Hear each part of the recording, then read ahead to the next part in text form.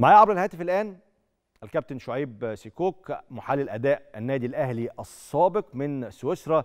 نتكلم معاه عن مباراة الأهلي والوداد القادمة إن شاء الله.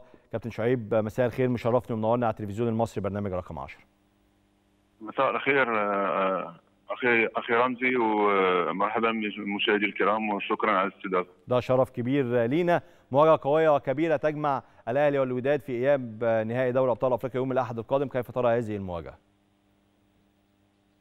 والله كنا كنا عارفين على المباراتين حيكونوا صعبة مقابلة القاهرة حتكون صعبة والإياب والدار البيضاء حتكون أصعب.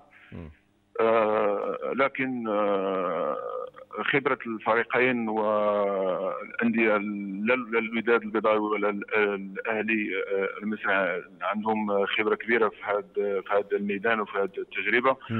وكنظن على مقابلات متساوية. بعد مقابلة القاهرة إصابته لواحدة خلات الفريق الودادي اللي رجع يلعب على الحظوظ ديالو. 2 0 كانت النتيجة تكون صعبة. كانت تكون نسبة مئوية أكبر للنادي الأهلي. لكن اصابته الواحده المقابلة المقبلة حتكون إن شاء الله متساوية 50 50 50 50 شفت مباراة الذهاب؟ هل شاهدت مباراة الذهاب؟ آه طبعا طبعا شفت مقابلة مقابلة الذهاب في, القاهرة. آه كنا عارفين إن المقابلة حتكون صعبة. آه اولا بحيي الفريقين على المستوى اللي ظهروا به مستوى كبير. آه شوط أول للنادي الأهلي آه كان شوط رائع.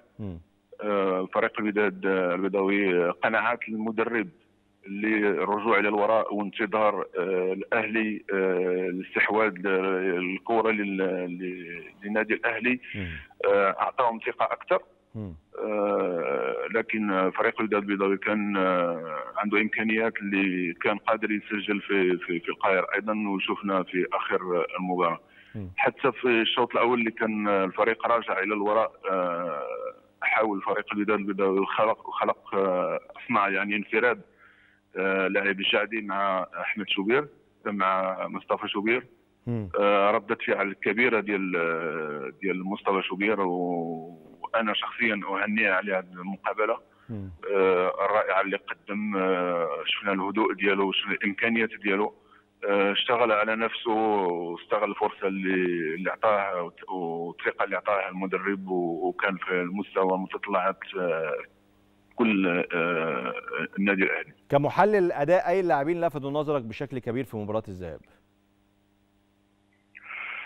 والله بيرتيساو بيرتيساو وحسين الشحات هما في أحسن الحالات ديالهم. كيبقاو من اللاعبين الأخطر في كل المباريات سجلوا إصابات. كانوا لاعبين اللي دائما الحلول في رجليهم. حتى كهرباء في مربع العمليات يبقى لاعب خطير جدا. كل لعيبة تقريبا في عهدنا مع بايلر كل لعيبة بيعرف إمكانيات نتاعها.